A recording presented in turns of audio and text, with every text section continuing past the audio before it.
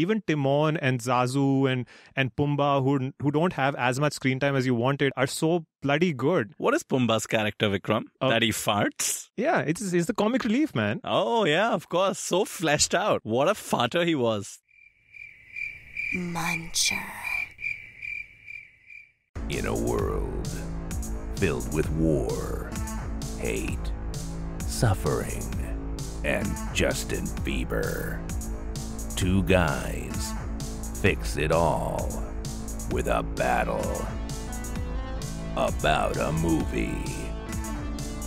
One film, two opinions, one coin, two sides. They feud. You decide. It's time for Film Feud.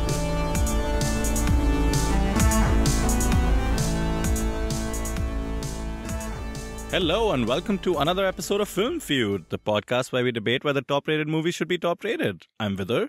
And I'm Vikram. Hello, Vikram. What's up? Ready to feud? Always. Let's do this. Why don't you tell the good folk what we're doing here? For shizzles, we take a movie from the IMDb top 250, we toss a coin, heads argues for, and tails argues against. Simple. Simple indeed. And the movie we're feuding this week, Disney's 1994 feature, The Lion King. Das Vidanya.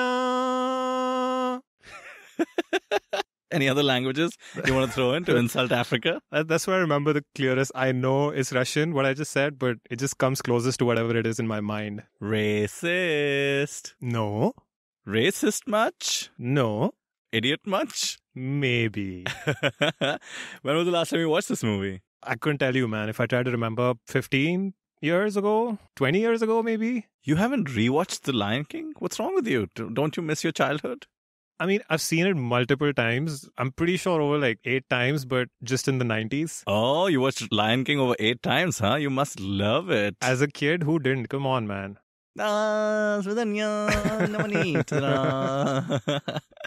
It was a good time as a kid, but uh, you know, it's time to evaluate where we're at. And to that note, why don't we get to it? Let's do the coin toss and see which side we'll be feuding. Let's do it.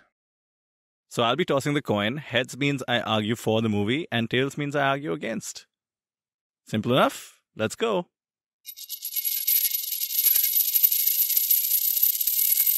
And I've got tails.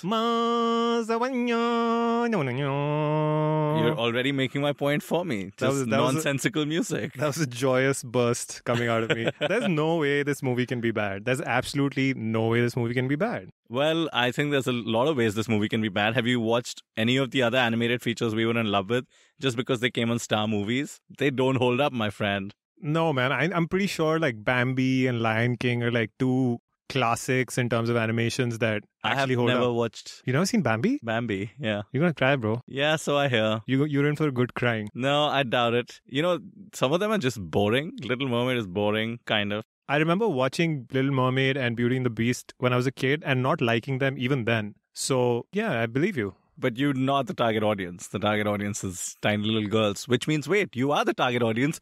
A burn. you a little girl, bruh. All right, dude. I mean, whatever, whatever you need to help you get past this coin toss. okay, fine. I think watching the movie again should clear it up for me. I doubt it'll hold up. So why don't we go ahead and do that? Let's do it.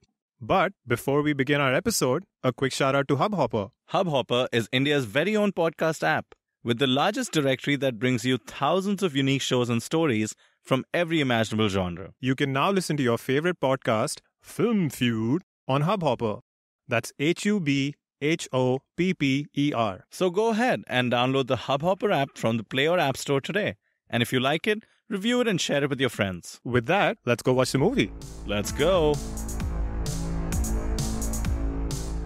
What a perfect, perfect movie. Mm-hmm. Mm-hmm. Keep going. I don't need to. It's perfect. That's It's perfect. it's perfect. This is the perfect movie. This is the perfect movie. Frank Coppola can suck a baboon's. Frank whatever. कोपला कुछ नहीं उखाड़ सकता यहाँ पे brother nothing he can उखाड़ो Do you realize that the lion being the king of the jungle is just a phrase? It's just something people say. They actually made lions the king, the monarch of the jungle. Yeah, wait wait a second before we get any deeper here are you going to apply animal logic of how kingdoms or the jungle is actually run or it works and all of that because it's it's a cartoon. You I hope you understood that, right? It's an animated feature film. I hold it in a high expectation standard because this is from Disney's golden era. This is what it was. This is what I loved as a kid. It's so sad. I'm not going to apply any logic to it. Of course, you can't apply any logic to it. I'm just saying, like, apparently they just wanted to make a movie about lions, right? Because lions are cool and they wanted it to be set in Africa. But the king thing is a little too far. Also, it's part of whole Disney's like monarchy push. I think there's something to this, huh? By the way, every Disney film features like monarchs, right? And I think it's like probably a metaphor for like Disney in itself. Like, you know how Disney just kind of owns us, just gets its like serf taxes from us by selling us toys.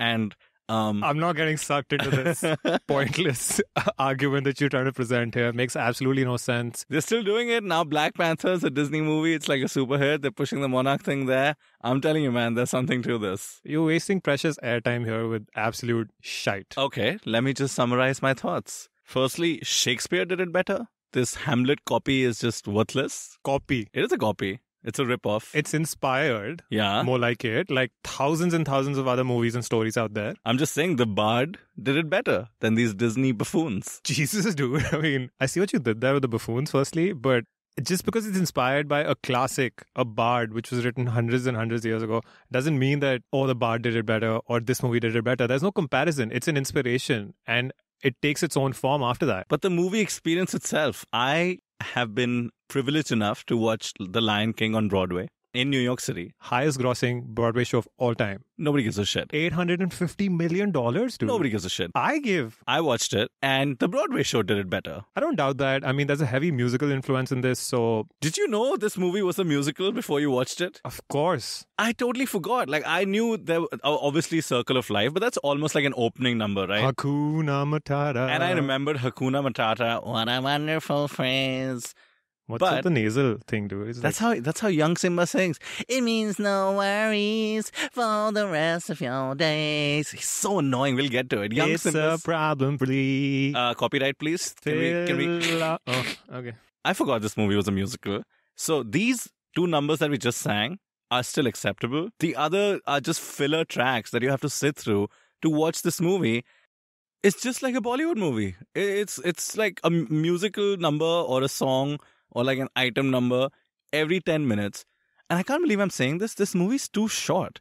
It doesn't give you time to absorb anything that happens in it. It just jumps into like, ek minute bacha hai, ek minute bada ho gaya. One moment he's basically like crying over the death of his father. The next moment, hakuna matata, And it just rushes by and the musical numbers don't help. Oh my God, why didn't this movie hold up? Why did I not get okay, to relive my enough, childhood? Enough, enough. All right. Firstly, this movie is perfect. It's one and a half hours, give or take, and it's perfect. In terms of rushing, I don't think so. I think each character is established perfectly. Even young Simba, old Simba, they spend so much time fleshing out the young Simba character and how he wants to be the king when he grows up. And obviously, the old Simba, which is the rest of the movie, where he's escaping from his troubled past, and then finally the whole coming of age thing coming together, and then him actually taking over, fighting Scar, and doing all of that. Each character, each main character at least, was fleshed out so well. Even Timon and Zazu and and Pumbaa, who who don't have as much screen time as you wanted, are so bloody good. What is Pumbaa's character, Vikram? Oh. That he farts? Yeah, it's it's the comic relief, man. Oh, yeah, of course. So fleshed out. What a farter he was. The voice acting and the farting, my God. dude on that note i mean we'll talk about casting obviously when we get to it but i think i think this movie was impeccable in everything all right we were talking about the music earlier sir elton john are you kidding me dude Okay, why don't we stick to the music, okay? Because I know Elton John and Hans Zimmer just apparently make it some like crazy combo, so you think the music has to be good. One is the placement of the music itself. I do still feel it's rushed. One moment, Scar is all sinister, right? And then the next moment, just like an annoying musical, like, you know, one of those plays that doesn't need music, but they force it in there. So he'll be sinister, but then he has to sing that evil guy song. So then it's all like, like a Broadway show, like a musical. Oh, he's like, oh, I'm evil, I'm evil. And then he says like, and then he's like clicking his fingers, Maria, Maria, like whatever. Like it's like, Maria, I don't Maria. know. It's like Lakayam, Lakayam. Like he's just singing typical filler musical numbers. He's like, oh, if I were an evil man, if I were an evil lion, la la la la la la la la la la la. Oh, that was fun, man. That was fun. Just just because of that, this entire feud's uh, worth it. You spoke about Hans Zimmer very casually, and I'm a little appalled. I think he I, I know treated this movie very casually, in fact. I know you're a big fan, all right. There's no denying it. We're Of both future Hans Zimmer, yeah. of Hans Zimmer in general. This is his only bloody Oscar. That says something, man. that and says something that, about the Oscars. No, that that the fact that that washed over you and the way you're casually remarking about Hans Zimmer it's just just shows me that you have absolutely no taste in music or scoring movies or anything like that. It's just something that's there for you. I heard this interview by Hans Zimmer where he was specifically talking about this movie score and how he approached it. He'd done a couple of movies uh, before this movie where he'd actually gone to Africa. One of them was The Power of One, recorded these African choirs and try to bring that traditional African sound into the score and the theme of the movie. And obviously, because of the experience there, uh, he he he did such a good job here. And the other thing was that he spoke about how he lost his father pretty early on, and how he wanted to just use the theme and and the score of this movie to sort of bring that emotionality out of people watching it. And I think it was bang on. The Oscar was very well deserved. No, it wasn't. And the, I mean, maybe in isolation as a, like an album, you could even listen to it, but obviously not really. Disney songs aren't meant for that. Other Disney movies did it better. The songs in Aladdin are much better because of all the fun aspect of Genie and stuff. Dude, Disney movies of the past, like Aladdin, where there was such a fun element to the songs because of Genie and there was actually a lot of culture there as well. And then future Disney movies. I think Frozen did it better. At least it had one catchy song. When Jon Favreau, which we should address by the way, he's going to make a Lion King remake in live action, similar to how he made The Jungle Book in live action. I'm sure that'll be awesome. I'm sure he'll give it some time to stew. He might use the same songs and redo them, sing them live in a better way. That would be so much better. Right now, it's just like, like that stupid song, Can You Feel the Love Tonight, when the lions are about to bang. Best Oscar song. That's the song that won the Oscar? Yeah, three of these, three of the songs from this movie were nominated for best Os- best song, and Can You Feel the Love Tonight won. We are going to fuck tonight. That's the song. That's the whole song. It's a great song, dude. It's a great score. It's great music. I don't know why you're hating, dude. Can we move on from this? It was fun to play together. this in my mind was a concession by you, and I'm appalled right now. Have you no heart with her? Have you none of that heart?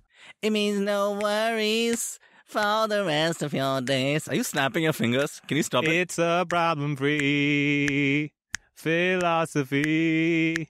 Hakuna Matata. You have to do the nasal voice. You can't do it without the nasal voice. Hakuna Matata, yaar, Vidur. Just Hakuna Matata, bro. An African phrase that now everybody in the world knows. They should have gone the route of Madagascar and just use like modern pop songs like Katy Perry's Roar and uh, Fireworks. You're you're digging your own grave right now. No, I'm not. It's better than this stupid like ballad. I have this on record now, forever and ever, where Katy Perry's "Roar" and "Fireworks" are like preferred. What's with the accent? I'm just gonna clip this part and make you go through hell your entire life. Okay, you know what? Let's just use the songs as a way to transition into talking about the actual movie, non song part of the movie, which is obviously at least bearable as opposed to the songs part of it. The opening number, Circle of Life. Can you sing? Can you just tell me the lyrics? What's happening in this premise setting song, Vikram? The antelopes and the elephants and the animals of the uh, jungle, the savannah, are bowing to their king. Back to logic again. It's a back to- cartoon, bro. They're paying homage to their king. They're paying homage to their future eater. They're paying homage to their predator. I mean, they don't show him as that. It, he's more of a caretaker of. Uh, What do you mean? Mufasa justifies the circle of life by saying, Oh, when we die, we become grass, the antelopes eat the grass, and we eat the antelopes.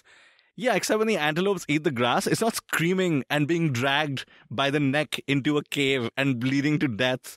While like annoying brats and cubs like Simba just be like, "Oh, I want the leg piece." This is not Okay. this is not National Geographic, dude. It's the Lion King, man. Easy. PG, They're brother. PG. They're trying to make a National Geographic. And by the way, Mufasa becomes a star if you didn't notice. So exactly, he's not part of this circle of life. Yeah, Even he's when he above it, he's the ruler of the life of circling. What? Why? Shut up, man. Just Why? shut up. Because in storybooks they say lion is the king of the jungle. They literally took a nursery rhyme and made it into a movie that you're now defending the logic of. In the jungle, the mighty jungle, the lion sleeps tonight.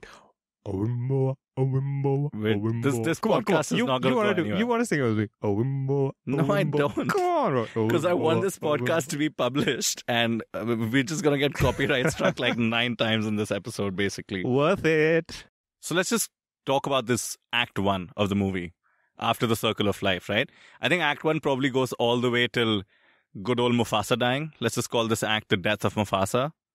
Ooh, I like it. I'm I'm gonna give you one concession, okay? You talked about the voice acting.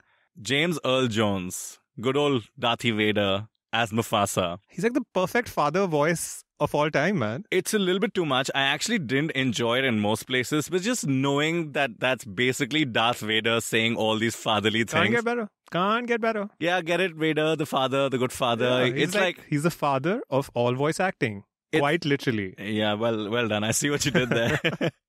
it's almost like Vader having redemption and getting to be a father. That's what I enjoyed the most about it. Apart from uh, James Earl Jones, I think Mufasa's character as well, the way they established it, how you know how he is the king of the jungle rather than just like theoretically the king of the jungle, how he protects his kingdom, you know, operationally how it's set up, you know, Zazu coming and giving updates and stuff. Operationally. I love it, dude. I loved everything about this movie. The only thing he's protecting is young Simba because he's such a brat and gets into trouble all the time and has that annoying nasal voice. It's like, Dad, Dad, is all of this mine?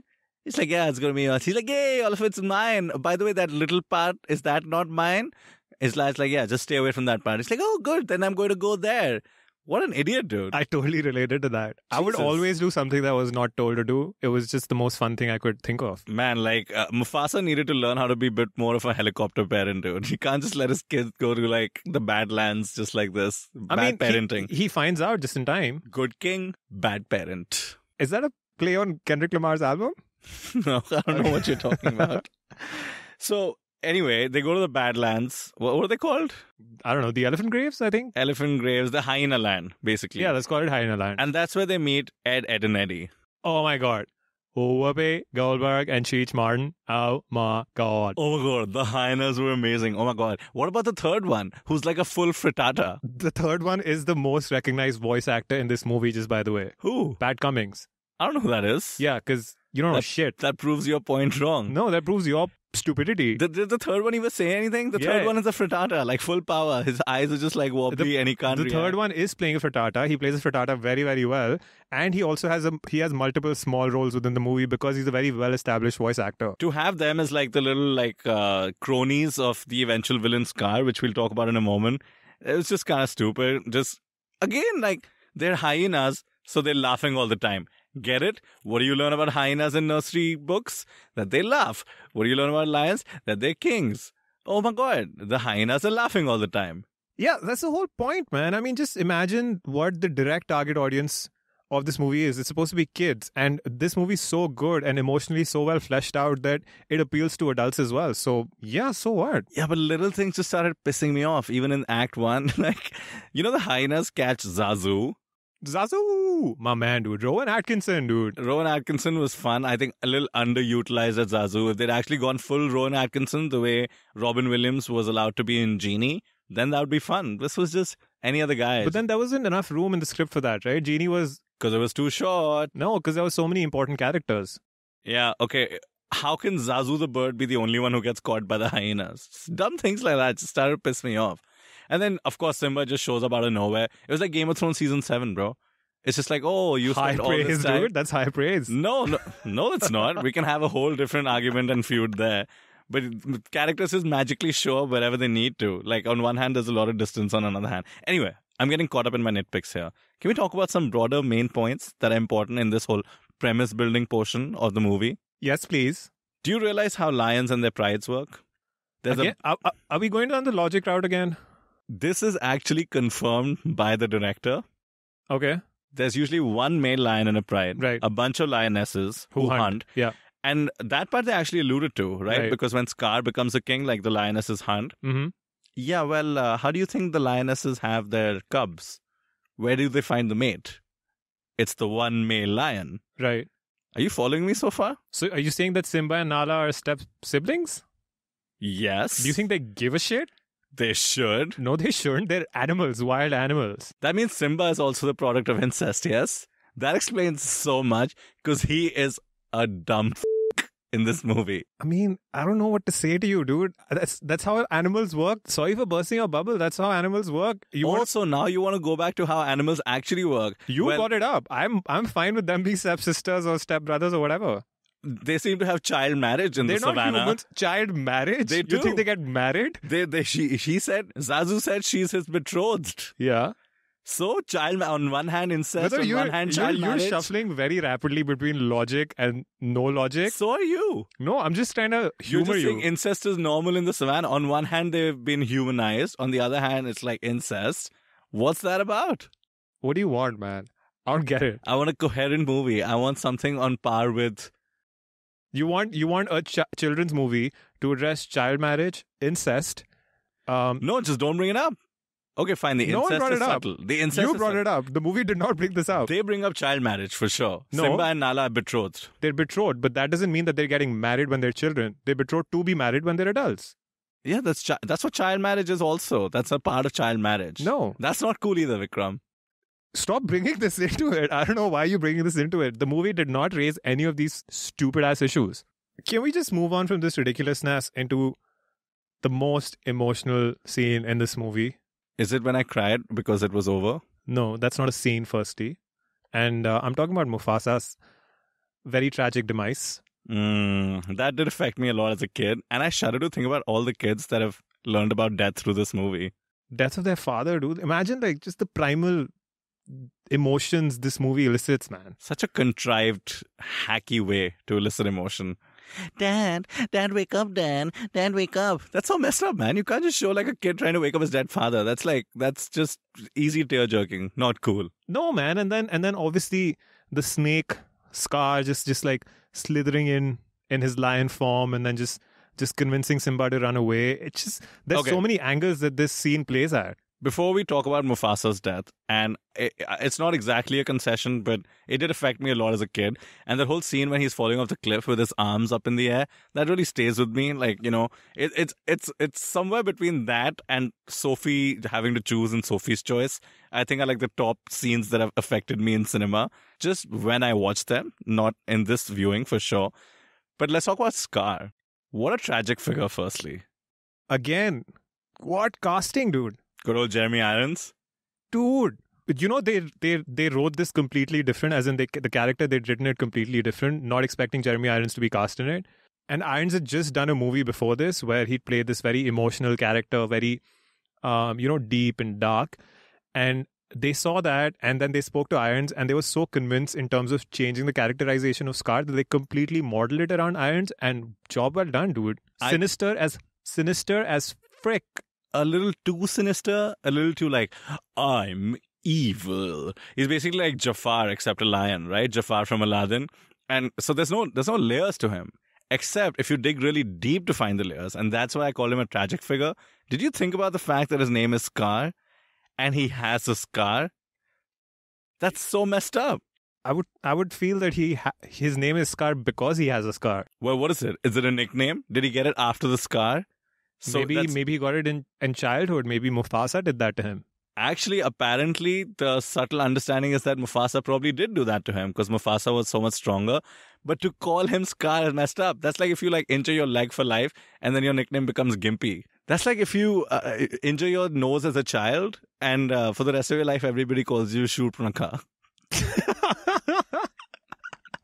I'm so impressed you know that by the way. I had no expectation about that. I dug deep for that one, I have to admit. I felt it, dude. Secondly, Vidar, That's a tragedy. us humans, Uh huh. them cartoon lions. Convenient. Convenient again. Okay, but he's a tragic figure. That sucks. If he's been called Scar, I got a lot from his backstory just from that point alone. And as for Jeremy Irons' voice acting, I thought it was over the top, too villainous, too evil, too one dimensional a character, and the voice acting corresponds.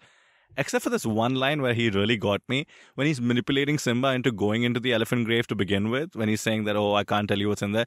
And he just goes, I'm sorry, Simba. I can't tell you. I'm obviously not doing it as, as good as him. That just really got me. Like his manipulation voice was really strong. And I think he was a perfect pairing to James Earl Jones Mufasa, right? Like they they did seem like two brothers in terms of the, the voice casting. Another thing that I noticed, this very small tidbit uh, that I noticed, I'm sure you did too, in terms of how they showed Scar.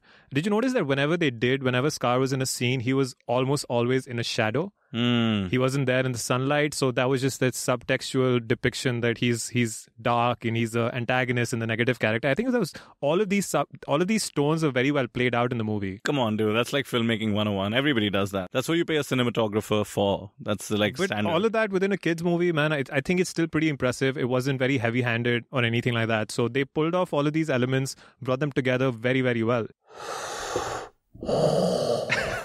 Simba. Scar. that would have been better. Oh, I can't. I can't not acknowledge a Star Wars reference. But no, it wouldn't. Not in this movie. Come on, man. Okay, why don't we just get to the part where Vader slash Mufasa dies? Sad, already granted. Sad scene. A little too on the nose, tuggy. Test so gather, tha Touch ho gaya. हाँ. Oh, so sweet. Yeah. Why didn't Simba just run to the side in the stampede, by the way?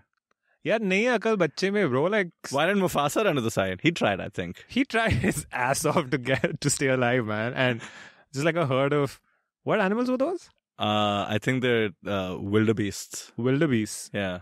I thought that was like a generic term for animals no like wild beasts. yeah I mean a rampaging wildebeest he tried to get out of the way Okay, so he dies. And we get to Act 2, where Simba is convinced by Scar to just run away and never come back. Why didn't Scar kill him, by the way? Scar had no problem killing Mufasa, though indirectly, but then also directly, off the cliff. Why did he send his hyenas to kill him? Anyway, typical standard movie villain stuff. Simba escapes. Here's the part where the movie is so short and it works against it. He's immediately found by Timon and Pumbaa. Within like a minute or two of Timon and Pumbaa's like character building, they're singing Hakuna Matata. I'm like, bro, your dad just died in like this scene. it wasn't it wasn't the same scene firstly and secondly dude a quick shout out to Nathan Lane I mean, what a performance, dude. And according to me, I know a lot of people don't think so, but according to me, the best casting of the movie, the best character in the movie, it's just so amazing what that guy does with such little screen time. Can we just get done with you just, just freaking out over the voice acting and the performances? Are you done? Do you have? Are you fond of Rafiki's performance as well? Mm, Nala's performance as well? No.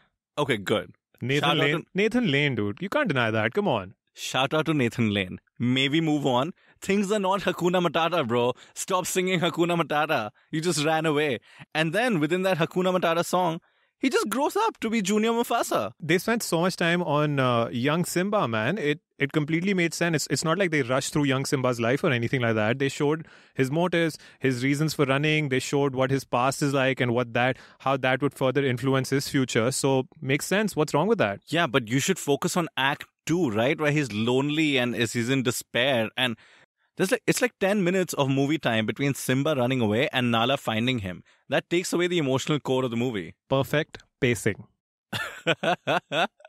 no, it's not. This is like if in the Prince of Egypt, Moses went away, he left Egypt, and then within ten minutes he was back. What would that have done? That would have taken away the whole Old Testament story. No, that's the crux of that story is during that part of the the story. So it's completely different for this. The crux of this story is the beginning and the end. And how the beginning and the end come together. How Nala ends up finding Simba just by chance because they think he's dead. and then basically just pounces on him, like ready to make out, ready to go. She just finds him, and immediately she's like, you know, neck nuzzling, whatever the lion equivalent of making out it. Yeah. "Kuch to le yaar, what's up? How you been? Why you here? What's happening? No, bro. She saves all that for later. She just makes those like, uh, you know, just seductive lioness eyes, and then that's it. We are going to bone tonight. Dude, I don't know what the hell your problem is, dude. This movie's a cartoon at the end of the day, dude. You need to keep that in mind. And yet, it touches so many strings emotionally. It's perfect. I, I think it's the perfect blend of young adult fantasy, adult. You don't want to shut, shut up, man. Do you remember what gets Simba to come back? Like how quickly Act 2 gets over with? Do you remember the element that makes Simba actually go back to the Pride Lands? Yeah. What is it? Him actually realizing that Mufasa is within him. No, it's not talking to Mufasa in the clouds. That's what I thought you would say. The key element actually is Rafiki, the baboon. Yeah. The magical baboon, by the way. He's the, uh, what do you call it? Shaman. Shaman. No, he's a hokum pokum magical monkey. okay. And things were bad enough as it is. We didn't need some like uh, guru magical monkey Dude, he guru. rips that fruit apart and like shit happens, dude. Ah, Simba. Oh, ha, ha, hee, ho, ha, Racist. What? Don't you dare. Don't you dare throw that at me. So, It is because of Rafiki, but it's not directly because of what Rafiki did. It's Rafiki taking him to that or taking him to that realization that Mufasa is with him and Mufasa is, is around him and he's a part of him and therefore it's his responsibility to return to his pride and his kingdom. Black Panther did it better. Black Panther did what better? The whole like connecting with my father and the spirit. yeah, plane. like all of the all of the panthers sitting on a tree just coming down and like that's the weakest part of Black Panther. Please don't bring it up. Okay, so Simba goes back to the Pride Lands alone at the time, races through the desert. What's his plan, Vikram? What's his plan of action once he goes back? He's a lion, dude. He's like king solo guy. He's like, I'm just gonna whoop anyone who comes in front of me, dude. no, I- He's like gonna roar his troubles away. Roar. Your favorite song, by the way. by Katy Perry. Shout out to Katy Perry. His whole plan is to just challenge Scar and just hope for the best, I guess yeah. What else? Do you think he's gonna set up his army, draw out battle plans? Is like, तुम यहाँ से attack करना, मैं flank से आऊंगा, तू उसके वहां से कच्चे फाड़ना, और फिर हम जीत जाएंगे. He's a lion, dude. He goes head on. That's what they do. Okay, and then he's joined by Nala and Timon and Pumbaa, and then they get into again a very rushed Act Three, where they just take on like you know Simba takes on Scar, and Timon and Pumbaa take on all the hyenas, and Nala gathers the lionesses. So then, what does Scar do? Scar's whole thing was that he would basically manipulate and use his evil and his mind to get what he wants. But at the end of the day, after he convinces all the other lionesses that Simba was responsible for killing Mufasa, Simba just kind of gets over it. He reveals to Simba that I killed Mufasa. Simba just gets the one up on him. And then Scar fights him physically, lion on lion. That's so dumb. That's exactly what he said he didn't want to do with Mufasa. The whole good part of Scar till now is that he knew he had no strength.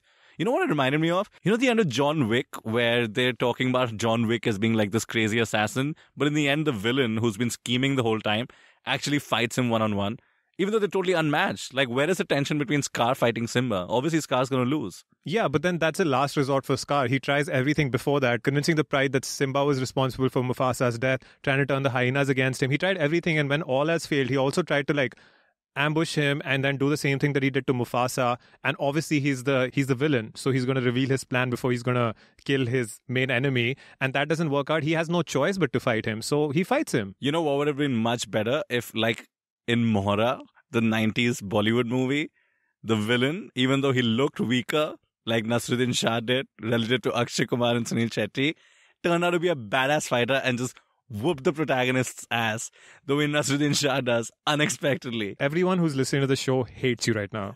Just absolutely hates you. Firstly, for bringing up Shout Mohra. out to Mohra. Firstly, for Shout bringing up Mohra. Mora. Secondly, for trying to say that Scar should have killed or or beaten, Held his own. held his own. Does that mean he wins? No, obviously Oh. not. Oh, so so It's close fight. movie. Yeah. Stupid ass point. And in the end, he gets taken by Ed, Ed, and Eddie. You remember when that happened in Justice League? It was so annoying. It's the same thing. I don't even know what you're talking about. I don't even want to. My least favorite part of the whole thing is Rafiki joins the fight at one point, and then he goes like full kung fu. It's like kung fu Rafiki. They should have made that into a movie. It would have done well, as evidenced by Why don't you? Why don't you write to Disney? well, Kung Fu Panda already did it, Oh, okay. but it, it had potential. If they had to make sequels and spin-offs the way they did, that's the one they should have made. Kung Fu Rafiki, Kung Fu Rafiki. Kung Fu Baboon. I'd watch it. I'd watch it. Not lying. You'd watch anything, as is evidenced by the fact that you like this movie. That's not fair. You know the thing that I liked about this movie the most, uh, which we haven't spoken about, is the animation, dude. Isn't hand drawn animation like way, way better than computer animation? No, you like this movie more than Pixar movies? Yeah, dude. It's it's the authenticity that it provides. It actually makes me feel nicer, if that makes sense to you. I know Are you it won't. saying you're not looking forward to the live-action remake of this movie? Not as much as I would have had for the Jungle Book because Come on. I wasn't a big fan of the Jungle Book cartoons that much. It has the same animation. Yeah, but I, like just the story and all of that. So I, I liked what they did with the Jungle Book. I mean, who's to say the Lion King is good? They have they have a good story to go off of. So I can totally imagine that. But it's just evidence in terms of how much money this movie made. Yeah, it kind of killed it, didn't it? Dude killed it and uh, was the highest is still the highest grossing hand drawn animation movie of all time. It'll never be surpassed because they've stopped making it partly. And the other thing is that because of how much tickets were priced at those, those times and stuff, in terms of pure attendance or the pure number of people that saw this movie, the highest out there ever. No movie has sold more tickets than The Lion King. Why not? I mean, I believe that. Pretty crazy how much money it made, but every animated movie makes money. If you look right now, especially the power of Disney, this was in the middle of Disney's Renaissance era with The Little Mermaid and Aladdin and others. So they were on a roll there. Animated movies, they're meant for kids. You have to sell one ticket to sell four tickets, right? You sell the ticket to a kid, the, the parents will go out and watch the whole movie. So this was we, part of this was part of the Renaissance era, but at uh, the beginning of it, the Renaissance era started like '89, and I remember uh, the movie before this. I'm not sure which one it was was the highest grossing movie of all time, animated movie, and then this surpassed it. But no movie after this surpassed what Lion King made. So that's testament in terms of how good it is. That's just testament to Disney being our overlord, the way they push the monarchy system. No, Toy Story Bow didn't make to me. this. Bow to me and my toys. Bow to me. Toy Story didn't make as much money as this movie did. Toy Story was a new studio, new animation. They didn't have the Disney's king's powers of distribution. You know I'm right. Bow No. to Disney.